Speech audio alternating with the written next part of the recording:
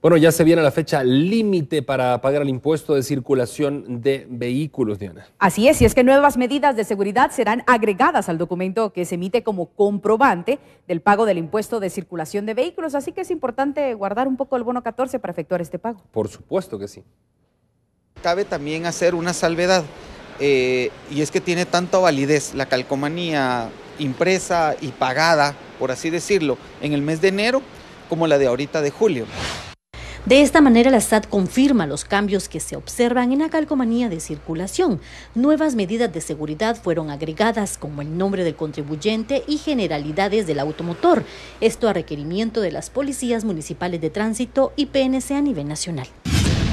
Los datos que se, que se están incorporando tienen que ver incluso con códigos de barras y con códigos que puedan ser leídos.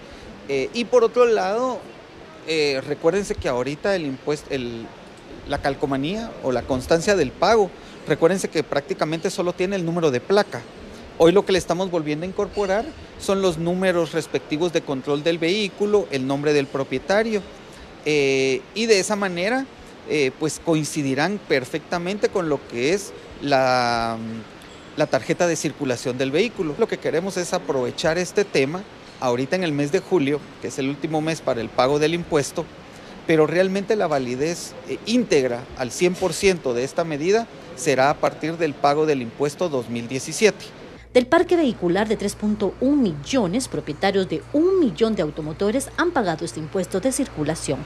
Con el pago del bono 14 y la quincena salarial, estiman recaudarán al cierre de julio alrededor de 300 millones de quetzales.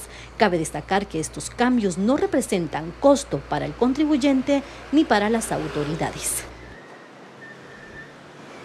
Y para este jueves, las autoridades de la Superintendencia de Administración Tributaria oficializarán los resultados de la recaudación al cierre de junio.